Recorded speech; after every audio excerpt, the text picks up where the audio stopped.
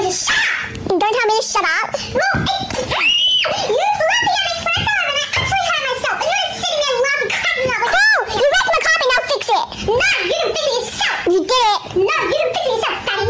Don't call me that. I'll call you what I want. Okay, go away, brat. Say you, Felicia. What the hell of a name is that?